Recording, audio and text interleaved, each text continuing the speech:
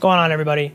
My name is Taylor DeYoung, and my wife and I recently put out a video of a pool that we built in our backyard.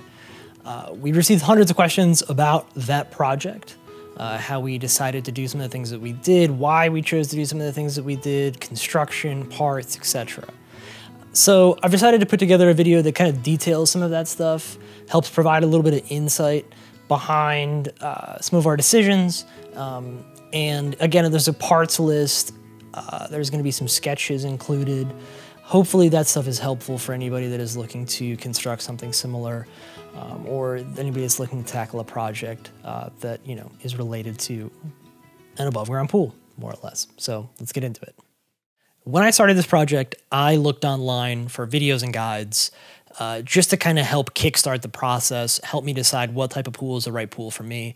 And I was actually, I struggled to find any of those videos. So for the next couple of minutes, I'm going to dedicate some time to that process. Hopefully, that'll be helpful for anybody who is, again, in the beginning stages of this and is looking for maybe some of the do's or don'ts, or maybe some of like the pros or cons of various pool types. So if you're not interested in any of that, go ahead and uh, skip ahead. There are chapter markers down below. You can head further into the video where we get into some of the details specifically about our project. I really wanted to highlight a couple of our goals going into this project. One of the things is the cost. We really wanted to keep things to a minimum. This house that we're in right now, this is not a forever home. So we didn't want to make an investment that we were going to feel bad if we left in a few years or if the new owners didn't want it, etc. So we wanted something that we were going to enjoy for the short term, but wasn't necessarily a commitment long term. So the financial commitment was a really big factor for us. Uh, the second piece was we wanted something that looked good. Uh, we spend a lot of time in our backyard. It's one of our favorite parts of the home. And we wanted something that wasn't like fully exposed with hoses and electronics and pumps and filters and all that. We wanted that stuff contained and we wanted it to look nice. We wanted to be able to enjoy it aesthetically. So that was important. And another thing was the maintenance factor. We wanted something that we felt confident that we could maintain. It wasn't overly complex. It wasn't going to require, uh, you know, a pool guy or you know uh, experts in those areas or whatever. Like we we wanted this to truly be something that was DIY from the ground up. And that's not to say that we weren't willing to make mistakes and learn along the way. You obviously have to figure out like pool chemistry and all that kind of stuff that's going to be a part of it no matter what. But we really wanted something that we felt like we could uh, tackle on our own. So those were a couple of our goals going into it. I'll explain, you know, again, how we were able to accomplish those and achieve those, but just remember those things. I've gotten a lot of comments about, you know, people saying, oh, well, you know, you really bought a cheap pool or you overspent on, you know, the deck or it doesn't like, why would you do, why would you do all this work for something so cheap? And I just, I think people don't have a clear understanding necessarily of what some of our goals were. So hopefully that context provides uh, some clarity around why we decided to do some of the things that we decided to do. Um, which kind of brings me to the next point, which is kind of the budget. A lot of people ask about budget. This pool took us a little bit of time to build. Obviously, we lost track of exactly what it cost. I did not save every single receipt, but it essentially came out to around six thousand dollars, give or take. Uh, there are there are things that you could certainly scale back on if you wanted to cut costs or decrease costs that's for sure. And if you wanted to you know go further in uh, you could certainly go further in and spend you know north of that. No problem. Uh, and i can obviously give you some uh, some tips on how to do that uh, if that's something that you're looking for. But that the budget is a big piece of it and that's ultimately where we were at. Um, in our area i live in maryland and we looked at uh, joining a pool, for example, we th- we thought about doing that, and it's about fifteen hundred bucks a season, give or take. There are some that maybe are a little bit cheaper, some that are way more expensive than that, but fifteen hundred seemed to be a reasonable number. So you know, if you spend six thousand dollars on the pool project, and you know, let's say we are here for another four years, another four seasons at a pool, it kind of all nets out. And obviously, there's a benefit of having it be a private pool. It's your own pool. It's in your backyard. You don't have to deal with families and kids, etc. It's kind of your own thing. So obviously, there's like you know the pro of that. Uh, so we felt like it was a worthy investment, and hopefully everybody can understand that. So the stock tank pool is what inspired us to actually kick this project off. Uh, those are like galvanized metal pools. They're kind of like large kiddie pools, is what they look like. They're a little bit more adult than that. I've seen them like powder coated in different colors. They have filters. They have um, you know pumps and stuff like that. Like there's all kinds of things you can do with them. I've seen people put them in gardens. I've seen people put them, you know, in decks, and there's all kinds of options when you're doing a stock a stock tank pool. But one of the big cons to a stock tank is the temperature of the water. So if you look at the FAQ of a lot of stock tank companies, you will see that they recommend that those pools not be in direct sunlight. They need to be shaded for most of the day. If you can't, you know, you need to provide shade for them, put up an umbrella, etc. Uh, and they need to be drained on a pretty consistent basis because the water is just going to get really warm if it just sits in there day after day. And so that type of maintenance was something that we weren't really looking for. We wanted something truthfully that was going to remain cool uh, throughout the season without us having to constantly, you know, empty and fill it and all that kind of stuff. And, and we wanted to filter it and have a saltwater system and all that kind of stuff. So the stock tank pool really just didn't wind, it just wound up not being the right thing for us. Um, and they're also small, right? So they're not huge. You can't really stand up in them. You kind of got to lay down or sit in them and you can't put a lot of people in them. So there's a couple of drawbacks to the stock tank. I have nothing against them though. I mean, if, if you have the right environment for it, if you have a small space, if it's just you and somebody else and you're just looking for something simple, simple that you can sit in and you don't mind emptying it on a regular basis, I think that there's nothing wrong with the stock tank, but that's ultimately why we chose not to go with that. Uh, beyond the stock tank, we looked at the mod pools. This is another thing that you're going to see a lot on Instagram. Uh, these are uh, shipping container style pools. These are this is a much bigger commitment. These are much larger, typically speaking, than obviously a stock tank. This is going to be significantly more expensive uh, than the stock tank. I didn't mention earlier. Stock tank pools are not. They're pretty inexpensive. They're pretty cheap. There's not. I think you know a thousand bucks and you can probably get yourself into a stock tank pool. But the mod the mod uh, mod pools are. I have seen them fifty sixty thousand dollars and up. I'm not aware of any that were cheaper than that. They might exist. I don't know. Um, every time that they post something online, I check the comments, and a lot of people are in there asking about pricing. And ModPools directs everybody to their online calculator. They are not providing any prices about any of the videos that they put online. I find that a little frustrating and irritating. They obviously know what it costs, just put it in there. And the truth is, it's super expensive, which is why they don't want to put it in there. Sometimes people will do the math on it and they'll put it in the comments and they'll let you know. But those are like 50, 60 and up. Um, and reason being is because it's a pretty complex project. You have to have a crane system come in. You have to have a team of guys. You have to excavate in most cases. You can put mod pools just as like an above ground pool. You can put them on a slab or put them, you know, in a yard or something. You can certainly do that. But in either case, it is not a simple DIY project that involves a lot of stuff. Uh, and I think that that's why they're super expensive, probably. I'm not sure. Um, there's also an aesthetic component, too. I think you really have to like the look of a mod pool. I think they're kind of cool, but it's a very modern looking thing. I don't know what their longevity is. I think it's a relatively new company, so I don't know what a mod pool looks like in 10 years, 15 years. I'm not sure. Uh, maybe somebody can say something in the comments about that, but I, I'm not 100% sold on the mod pools. I think that they're cool, but in either case, um, we investigated it. We chose not to go with it. The next thing that we looked at was fiberglass pools. Uh, that seems to be, and I don't know, I'm not a pool expert. It seems to me that fiberglass pools are a little bit more of like a recent thing. The last like decade or so, they've really kind of risen in popularity. Um, smaller size fiberglass pools are certainly a, certainly a little bit more popular from what I've seen online.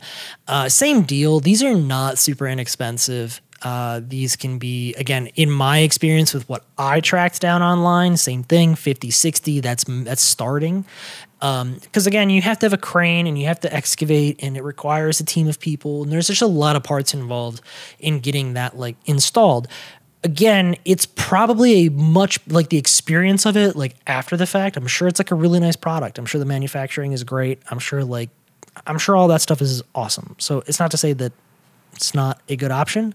Um, it's not that. It's just not really a DIY option. That's my opinion. It's just not really a DIY uh, DIY thing.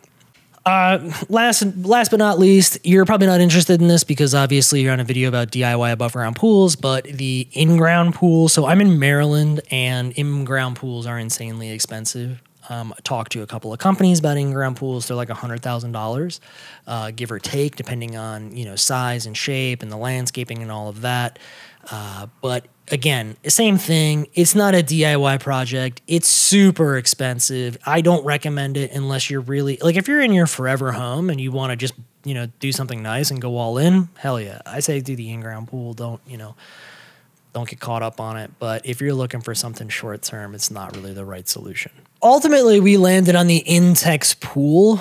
Uh, it's an XTR model. The reason why the couple one, it's super inexpensive and it truly is a DIY product. You can order this and it comes in a kit and it gives you everything that you need to kind of get kickstarted outside of the salt. So if you get like a saltwater system, for example, you would have to go get the salt. But other than that, you can really just get this dropped off at your house and you can kind of be up and running within a day if you want to. So it really seemed like a good starting point for us because again, it accomplished that that key goal of cost. We would not it's not like it's inexpensive or free, but if we had to scrap it in a couple of years, we felt like, okay, like it wouldn't be the worst thing in the world. A couple of quick things before we walk around the pool. Uh, there is a concrete pad beneath this pool. So we actually used to have a garage in this location. Before we bought the house, uh, there was a garage here. It was torn down, and we were left with a concrete pad. And for many years, it just sat kind of vacant, and we weren't really sure what to do with it. And we elected to go ahead and try this DIY pool project and putting uh, to, and put and basically put that on top of the concrete pad. So that is a lot of people who've scrolled through the comments and Instagram. Uh, they saw my six thousand dollar price quote for actually this project and constructing all of this. That is true. Uh, aside from the fact that we did not have to pour concrete, now you don't have to pour concrete to put an above ground pool like this up, but it is recommended. So um, if you don't have a concrete pad and you want to get a concrete pad, those prices are going to vary drastically depending on where you live. We were quoted everything from $3,000 to $10,000 to have a concrete pad of this size put down because originally we were thinking about putting this in a different area of the yard, uh, but ultimately just went with the concrete pad that we had. But if you are going to put in a concrete pad and you want to build something similar to this, I would go ahead and just tack on an additional 3000 plus uh, to that $6,000 price tag. Uh, just again, depending on where you are, too. I've, I've heard of some people getting quotes for a lot less in different areas. But again, I'm in Maryland, and that's just what they were quoting us at the time when we looked at getting this done. So I just wanted to clarify something real quick. You don't have to put these pools on a concrete pad. We chose to do that because we heard from some others that they had a better experience with that, and we also happen to have an, a, a concrete pad uh, that was available at the time. So we went ahead and did that. But really, the thing that stresses the most here in this setup guide is that being absolutely flat and level. Uh, there are some grasses and there are some types of surfaces that it recommends that you don't set this up on, uh, like mud, sand, softer, loose soil, that kind of thing. Um, it recommends that you don't put this on a balcony or a platform that could collapse under the weight. Obviously, these are going to be very heavy when they're full. So don't think that you have to have a concrete pad, or if you don't have that, it's going to be problematic for you. Uh, it, like I said, it's not a requirement. It's just something that we did. So, a few more things about the design. Because it actually all sits on a concrete pad, the posts uh, do not go into the ground. The posts are not like cemented in. They are not, we did not dig down and bury posts or anything like that. This is basically one big box and frame that more or less just sits on top of the concrete pad. There are some areas of the frame where we did bolt them down or bolt it down to the concrete just to kind of help stabilize things as we built it. But this is more or less just sitting on top of the concrete pad.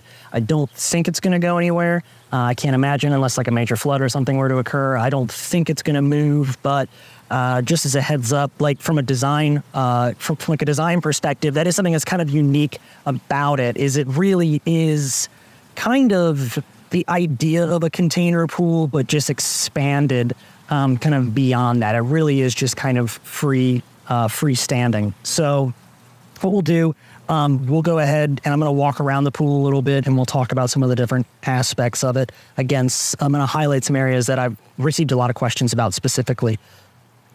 So the first thing is going to be uh, the pump and filter. So this pool is uh, a saltwater pool. It is filtered. And if we actually go around to the back side of the pool, that's where all that stuff is housed.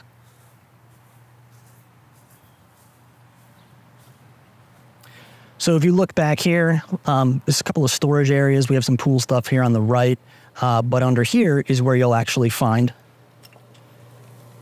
the pump and the filter and the saltwater system. It's actually all basically underneath the sunbed and the stairs here.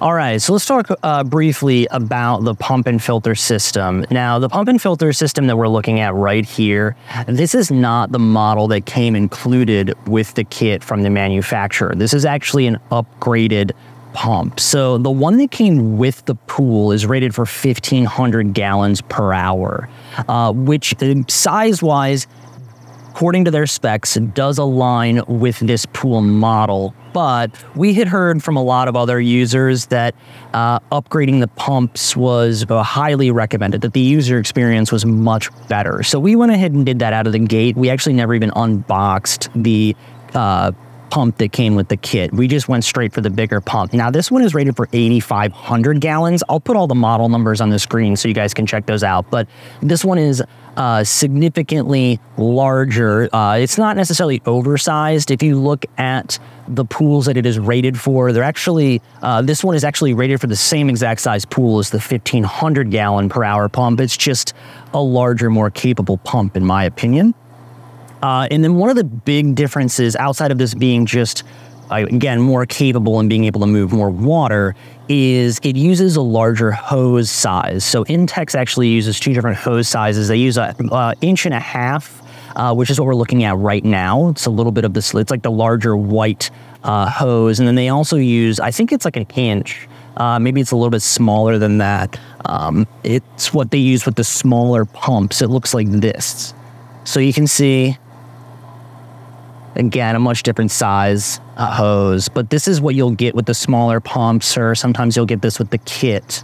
Uh, and with uh, the smaller hose on the uh, smaller pools and the smaller pumps, obviously you'll have smaller connection points on the pool itself. But uh, Intex does make a conversion kit that allows you to basically uh, convert the smaller inlet and outlet openings to the inch and a half hose so you can move between the two.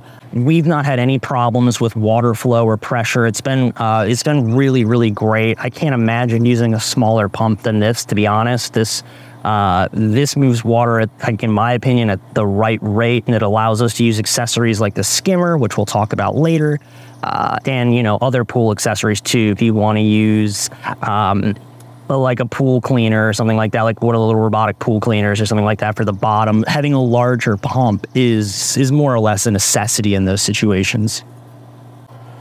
All right, so what we'll do real quick, I'm gonna kind of explain the routing of some of the pipes and hoses um, again, this is not something uncommon. A lot of people have done this where they've done some plumbing rather than just do hoses the whole way. We moved the filter and the pump further away from the inlet and outlet of the pool, so we needed to do a little bit of plumbing uh, in between. You'll see down at the end, uh, you'll see hose right here that connects from the pool down to our PVC. That's required. Again, the pool is not a solid structure. It has some give to it. So you can't uh, plumb directly to it. Otherwise, you'll create too much strain on the liner. So you got to have something in between that is a little bit more pliable, a little bit more flexible. So we have the hose running down to the PVC pipe, and the PVC pipe obviously runs a little bit further down here uh, to our pump and filter. Now, in between, we have shut-off valves. There's one right there, one right there, uh, again for the inlet and outlet.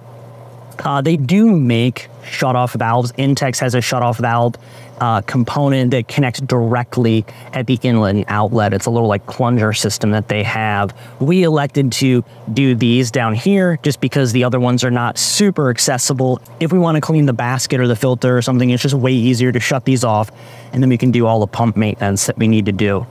One of the frustrating things about the Intex hose uh, and system is that it uses basically a non-standard size. So you're going to have to get adapters if you want to connect your uh, Intex hoses or fittings to standard PVC. So you can get online on Amazon. I'm sure there's other marketplaces you can get it to, but basically these are conversion kits. You see, they kind of come with everything that you need. Uh, but these conversion kits essentially allow you to convert over from the hose to a standard PVC fitting. So now that everything's converted over, obviously we have uh, our water coming in from the pool. It's going into the pump here, and then the pump into the sand filter. The sand filter goes into the chlorinator, which is here in the back, right there. And then obviously that goes back out to the pool. Um, I'm not going to go too much into the pump and the pump settings, but you can see here underneath this little door, you have your pump settings. Uh, timer, chlorinator, uh, boost function, self clean. There's a couple of alarm uh, lights over here if you don't have enough uh, water flow or something like that, or if pressure is building up. Uh, but the user guide will explain that way better. Intex also has some really great user guide videos on their website that you can check out that explains all of that. As for electrical, we have uh, two outlets here. The one on the left is going to be for our uh, pump and filter, and then the one on the right is for the pool light. It's the Intex pool light. We'll talk a little bit about that later in the video. You'll get to check that out a couple of different aspects to the top of the uh, or to this side of the pool to the deck here we have the day bed on this side. Um, the daybed exists for a couple of reasons. One, obviously, it's like nice and convenient to have a daybed, but more importantly, we wanted to have an area for the pump and the filter, but we also wanted some storage. So if you actually go under here, there is some storage where you can see uh, we have some pool floats and things like that. You also have pretty good access to the plumbing should you need to get uh, get to any of it. It's not the most convenient thing to crawl in there, but you can certainly do that if you want. And you can kind of reach around the corner there and you have pretty good access to the inlet and outlet connections of the pool. Um, on top of the daybed, there is this pad. This is actually a pretty nice pad. Uh, we got this from Amazon. Uh, you can custom order. This is a very weird size daybed. It is not like a standard size at all. So we custom ordered the daybed cushion from Amazon. It took about a week to get, and it's great. Um, they do rate it outdoor, but it does fill up with water pretty easily. I don't know how outdoor uh, you know, I don't know how well it's made for the outdoors. So I would recommend probably taking it in if you do something like that. Up next to the daybed, there is a little uh, out, like a little cutout here. You can actually like store stuff. We have uh, sunscreen and stuff in there, but you put your phone in there, book in there, sunglasses, that kind of thing. Um, honestly, a lot of those decisions were kind of made as we were building the deck. It's not like we have like designs for that stuff specifically. We just kind of made it up as we were going along. Um, just thought it would be a good idea. Uh, these panels here, a lot of people have asked about these panels. So you can kind of get a visual of what these look like, how they're kind of constructed. So this is actually fencing. Um, I've cut it down and trimmed it to kind of make it fit our needs here and our purposes here. But this is weather treated. Uh, it was, you know, we dried it for a long time, then we stained it. So these sections just overlap on one another. Um, there's a screw in on each end, on that end and on this end. If you need to pop these off, they actually come out pretty easily. You just take out the screws, then these actually just slide right out. That would give you access to the side of the pool. If you needed to get access to the side of the pool, we've not needed to do anything with the side of the pool just yet, so haven't had to take them off, but um, it's worked really well for our needs. I got a lot of questions, interestingly enough, about this uh, set, this like little couch and two chair coffee table set. Uh, I purchased that uh, from Home Depot. It was like four or five hundred bucks. And there's actually like you can buy it from Walmart. You can buy it on Amazon. There's a. It's not like a Home Depot exclusive or anything like that. Um, it is. I don't rate it very highly. This was actually something that we had indoors for a while in a sunroom, and then this season we decided to to move it out here.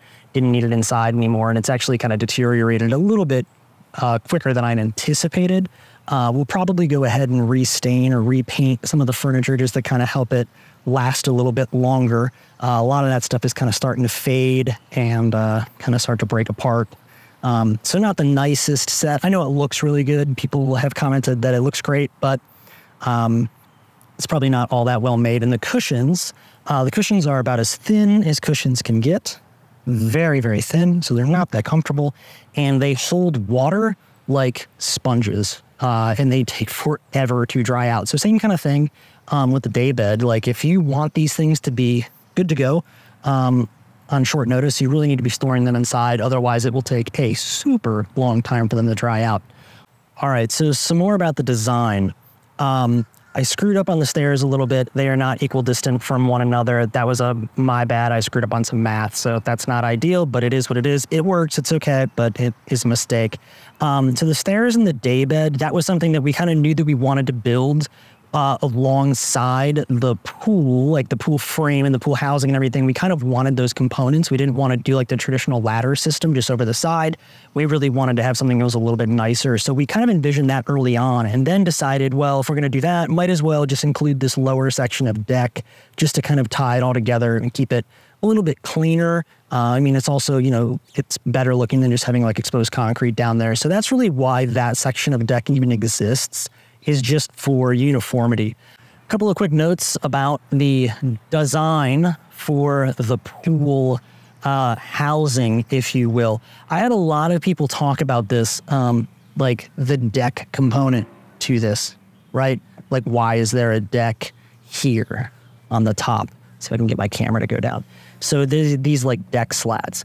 Um, the only reason that these deck slats exist and this width exists here is because the lower, like the bottom of the pool is wider than the top of the pool. It actually narrows as it comes up because it's all like resistance based. So um, you actually have to build this out to make room for the, basically the pool at the bottom. So if you were to pull these panels up and look straight down, you would actually see the walls of the pool come out uh, and they kind of meet up with the bottom side of the far wall here. So that's really the only reason that these exist. So anyway, the walkways around the top of the pool here are more necessity um, than anything else. It wasn't something that we wanted necessarily to have, like this like deck thing up top. It's just we had to have it just based on the design. If if we could have these smaller, uh, we certainly would do that. Um, and a lot of people, you know, are going to probably point out the fact that it seems really risky. There's no handrail on this side. And that is true. There's definitely no handrail right there. Um, we actually have a plan to put uh, planters along the edge here, basically to get some like greenery and stuff in there. We have a couple of small ones in the corners right now, but the idea is to kind of close some of that off, um, you know, with with plants and pots and stuff like that. So it's a little bit more visually uh, appealing and not as dangerous. Um, again, we're not. It's just my wife and I. We don't have kids or anything, so we're pretty good with it. Um, and you know we have a couple of dogs, but they don't really mess around up there too much. So we'll we're gonna do that at some point soon, just to kind of make it a little less risky. But otherwise, you have railings around the rest of the pool that kind of go all the way around. And again, like the same thing, like they, are really there at a like at a necessity for the fact that you can walk around it. It wasn't like an, it wasn't like an intentional thing. Like if we could have built this pool in a way that we didn't have to have railings up there, we probably would have done that. Um, but you have to have like these walkways more or less just based upon how the pool's designed. So, um, yeah, anyway, that's why those are there. So from this side of the pool, we have a Intex skimmer right here on this side. Uh, there's actually two outlets on this pool. Uh, there's one right there, there's one right there, and then you have the inlet, which is down there on the far right side. So the inlet in the uh, the right inlet, the one that's right there in the middle, that is just the traditional, the standard inlet inlet that comes with the pool. It's basically just an underwater kind of screen cap that goes on there, um, and it basically just circulates water from about midway up. Uh, we opted to do the skimmer just because we wanted to have something that helped clean the surface of the pool. For us, it has worked really, really well. I know a lot of people have had issues with this product, uh, and I think a lot of that stems from the pump being undersized. Uh, it does require, you know, maintenance. You've got to clean it every other day or so. If you really want it to work optimally, uh, you kind of got to be on top of that. If you're not paying attention to it, you have an undersized pump, it's getting debris in there on a regular basis. It, it definitely is not going to work as well as you might want it to. but it's been pretty solid for us. Um, we've we've enjoyed it, and I think it works really well. I've seen a lot of people do uh, where they like cut the side of the liner and they've put in a like a traditional skimmer, um, one that kind of hangs off the other side of the pool. And uh, you know, we didn't. I, my my goal initially was to try to figure out a way to do this without cutting and damaging the liner. I've seen a lot of people again have great success with it. I'm sure that system works really really well. I'm sure it's probably better than that design there. But my goal was to just see if I could figure out a way that would work without damaging the liner first. I just wanted to see if this uh, could do the trick for us. And it's pretty cheap. I think it's like 40 bucks or something like that. So it's pretty inexpensive and does not result, obviously, in us damaging the liner at all or cutting the liner. Also, with these rectangular pools, the walls, as I said earlier, they're not vertical. They are pretty sloped. So I don't think a um, I don't think a third party or aftermarket skimmer would actually work on these. I don't know if you can install it because it's going to be on a pretty steep angle if you were to do it. Maybe somebody out there has done it and can provide like some examples or share that with me. Um, I'm still interested in it, but I just I don't think it's going to be the right thing for this pool.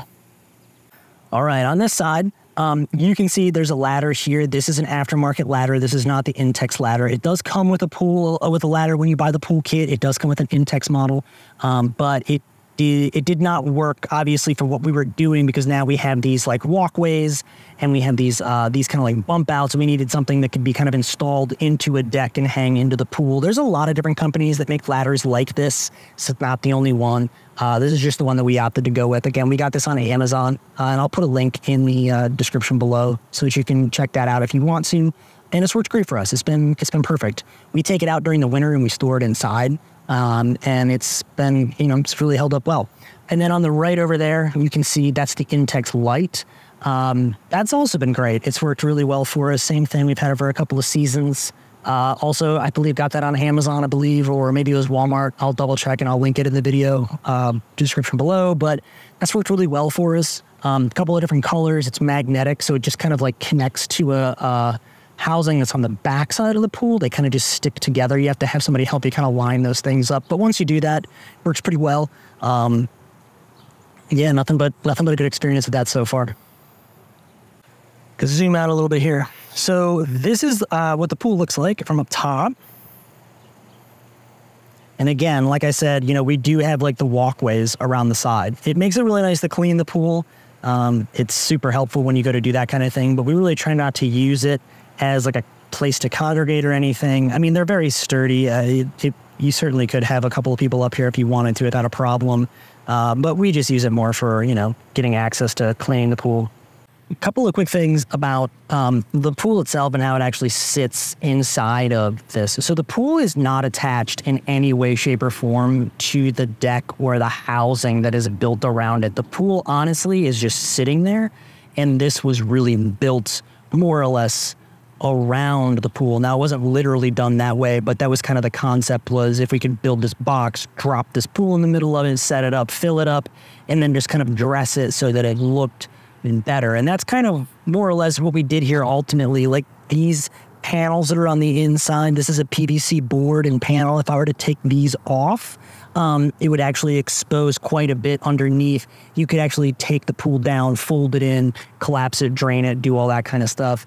Um, and you could replace it if you needed to. But these little PVC boards actually is kind of what uh, hides a little bit of the uh, like the the framing of the pool makes it look a little bit cleaner. But if you were to pop all those boards off, which is pretty easy to do, it's just a couple of screws that hold them in. But if you were to take all those off, um, you'd be exposed to basically the whole pool and uh, to the frame, and then that would all kind of collapse down if need be. Uh, you could replace the liner, replace frame sections if you wanted to, set everything back up, put the you know put the PVC boards back on, fill the pool back up, and then you know you're good to go. But they're actually um, completely disconnected from one another. So, for example, like if I stick my hand under here and grab the frame, you can actually see that this is not connected. It's floated, like it's just in it's just inside of this house more or less, and not connected. And as far as our uh, winterizing process, we this past year um, we drained the pool all the way, emptied it out, and then we covered the top uh, with basically a waterproof tarp just to try to keep some water and try to keep some debris out of the pool. And that worked really well for us. We didn't have any issues with the pool. We didn't fold it up, collapse it in, pack it away, anything like that. We literally left everything in place. Um, took the skimmer out, took the ladder out, took the filter and stuff, and put that stuff away. But the pool liner, frame, all of that stuff stayed. I have seen some people winterize them, um, like chemically winterize them, and that seems a little riskier. But uh, people have had luck with it, uh, and because it is it is a smaller pool, draining it and filling it back up is not that big of a deal. We fill it up with the garden hose. takes about a full day uh, to fill up, maybe eight ten hours, something like that. Um, and you know, so not a big deal. A lot of people have asked about the stain color on the deck. So it is, uh, it's Behr, um, and it is the uh, semi-transparent cedar natural tone. That's what the bulk of the deck is stained. Every like all the walking parts, like the main deck and everything. The handrails, these in between sections here, uh, those are stained. It's slate. It's a solid wood stain from Behr. Uh, that's the two stains that we used for the deck. A lot of people have asked about those, so if that's what that's all about. I have a section here with some hooks, uh, holds some pool floats. That's a little cooler right there. Um, and that's, again, that's kind of where we're at right now. This is an ongoing project. That's how I kind of feel about it. Like we're working on it all the time, I feel like, and modifying it all the time. And so, again, you know, this is the first video of many, most likely. If you guys have any additional questions, uh, feel free to throw them into the, uh, you know, comments below. I'll try to get back to you, help uh, help any way that I can, and vice versa. If you guys see anything that you feel like we could have done differently or could have done better, um, you know, feel free to shout it out. Always interested in uh, learning and uh, improving on this uh, DIY pool project. So thanks for checking this video out, and talk soon. So this is probably going to be the most frustrating part for people who a lot of people have been asking about blueprints in specific designs as it relates to this project. And I sketch everything out on the front end. I use graph paper that makes my life a little easier. Uh, and I go through a lot of different iterations of design before we actually begin to build anything. And so, and a lot of things change kind of on the fly. Uh, so I'm going to kind of run through some of these papers. Uh, hopefully this will be helpful. They're kind of damaged. They've been outside a lot in the humidity and rain and stuff. But uh, and I'll try to maybe take some high res photos so people can see them a little bit more clearly. But just so people kind of have an understanding of like the process and what I kind of went through. Um, this is like this, and I to be honest, I might not remember what all these are, but this is like the design of like kind of what the side would look like. Originally, we thought about maybe putting like a ladder or something or building a ladder into the side of it. This is again very like container pool uh, style. Like the slats, you can see those there. Um, you can see where like the beams, the four by fours and stuff were, the railing and whatnot. So that's kind of what one of the initial concepts was. Didn't ultimately turn out exactly like that, but you can kind of get the idea. Um, this is a version of the deck, the stairs, and then the day bed. This is a little bit further in the design process. Um, again, a little tough to see, I know. I apologize. I'm not the best at documenting this stuff. Um, but we can see the frame of the pool, the box more or less. The pool went kind of inside there. That's kind of what that looks like. These are uh, earlier versions of the design of the deck. We had the boards running this way in that direction. We obviously uh, flipped them. Um, they run the opposite direction in the final build. The stairs were a little bit different. We still had the daybed accounted for, but this was an earlier design.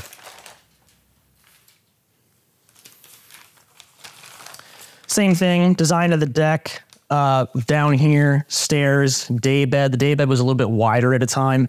You can see the top deck of the pool here. Again, we changed the design of the uh, boards in uh, in this one. Uh, this document here, this is kind of the one that we used most in the final stages. Uh, this shows a little bit more of some of like the underlying design, some of how we, uh, you know, built some of the, you know, some of the framing and whatnot. This is a little bit more accurate, I think, to what we ultimately built, minus the, uh, you know, the decking boards on top. This is a little bit more accurate of the structure. So, uh, again, it's I can't scan these in; they're a little big, but I'll try to maybe take some higher res photos. This was a plumbing sketch. Um, this just kind of showed where we were going to put the pump and filter ultimately. This helped me lay out a little bit of like just the length PVC wise. Uh, we actually flipped this around a little bit. We made the runs a little bit shorter. We flipped the pool. So the hookups were actually on this side. So uh, but this kind of shows a little bit of the process. You can see here, you know, where we were writing out kind of how much we needed of each thing. Um, and this actually shows here uh, the third party skimmer that we talked about possibly doing, but ultimately did not do. We bailed on that. Uh, this design shows this is not this is not super accurate. This actually changed a little bit in the end, um, but this was originally kind of some of the concept of uh, the top walkway piece, how this was ultimately designed. Uh, it's it, the final product was similar to this, but we needed to uh, build it out a little bit further, make it a little bit more stable, a little bit more secure. Uh, this wound up not being uh, the most stable. So we we did some re-engineering on that, um, but you can kind of get the idea of how it was kind of intended to be more of an overhang, uh, more like decorative almost to kind of just cover the sides of the pool. But again, we figured people would probably walk up there, so we had to you know redesign that, re-engineer it a little bit so that it was more uh, reliable. This was a little bit more of a layout of where uh, some of the posts were going. In the beginning, some of the original designs, we actually had the pool shifted uh, much further down, and we were going to put a, a, a deck, like an actual deck, up top, up high, uh, pool level. But we decided to actually ultimately center the pool uh, and not do the deck up top. We did the deck on the side, obviously. So that's kind of another one of the earlier designs. Again, probably not super helpful, but maybe it uh, can give you some, uh, I don't know, some creative food for thought kind of thing. Maybe you'll decide to do something like that. Um, another question that I get asked all of the time, this is actually probably the most popular question for whatever reason, is the stain that we used on the pool, or on the decks rather. So the deck uh, is this semi-transparent cedar stain. This is a Behr product. Uh, we did semi-transparent for uh, basically the deck, the sidings, all of that. And it's the uh, semi-transparent cedar. This is the actual uh, label here, so you can take that to Home Depot if you'd like. And then the railings, uh, the railings are different, obviously. Uh, they are a solid stain. Slate is the color, also a Behr product. But you can see here, this is the solid color. Lasts a little bit longer, so they say. Uh, we'll find out. But yeah, so those are the two stains that we use for the deck. Uh, and again, if you guys have any other questions as it relates to design, feel free to like shout those out, put them in the comments. I can try to take photos um, or video of various aspects of the pool with some more detail, and hopefully that'll be um, clarifying for anybody who needs some more information. I'm sorry I don't have better blueprints, but this is just kind of the process. And like I said, we changed a lot of things on the fly, and as we were building it, a lot of things just kind of you know we built as uh, as we went. But um, this is more or less the documents that we have. Uh, the most important one, actually, if you've gotten to this point in the video, good for you. This document right here, right here in the sun, I'm going to hold it up. This was the hardest document to actually get a hold of and find.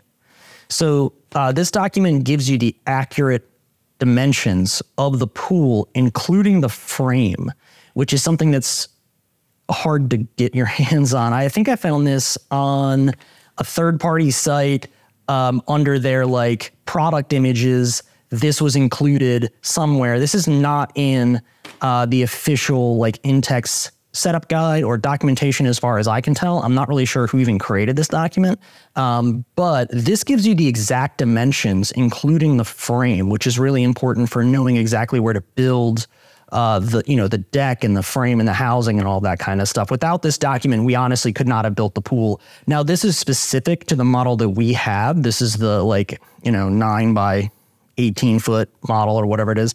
Um, I'm sure that this document exists. I'm, I'm, guessing it would exist for the bigger pools as well. Hopefully it does. But this document, uh, I have scanned this in. I will provide a link to this if you're going to do the smaller pool. I'll look around online, see if I can find the ones for the bigger pools. But um, this is super, super, super helpful and mission critical. Like we could not have done this project without this document. So uh, whoever put this out, thank you so much. It made everything possible.